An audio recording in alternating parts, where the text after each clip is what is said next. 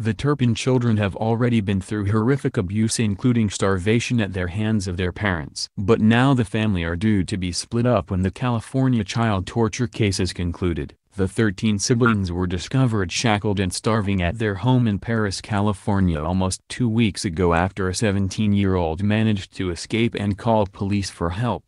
Detectives investigating the horrific crime say the children were denied food, basic hygiene and medical care and were punished for perceived infractions such as washing their hands above the wrist.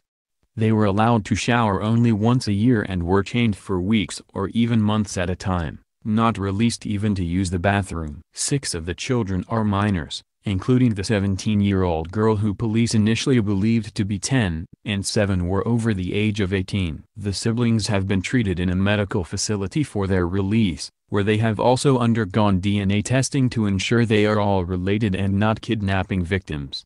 But now they could be split up, after the six children were told they will be divided between two foster homes. The seven adults, who have developmental issues and are unable to look after themselves, will be sent to an assisted living facility. The younger children, aged between 2 and 17 years old, pleaded with authorities to stay as a family, and police have recorded the siblings have a particularly special bond due to their imprisonment. Experts say the siblings would likely be left with permanent physical and emotional damage, such as anxiety and depression, as well as issues around food.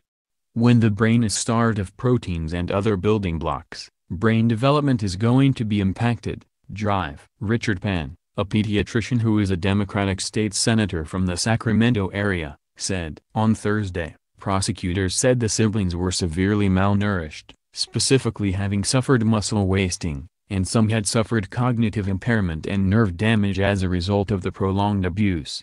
The younger children could begin growing again once their nutrition improves but may never reach their full heights. Those who lost IQ might recover some of their intellect but not all of it, Dr. Dean Blumberg, associate professor of pediatrics at the University of California said.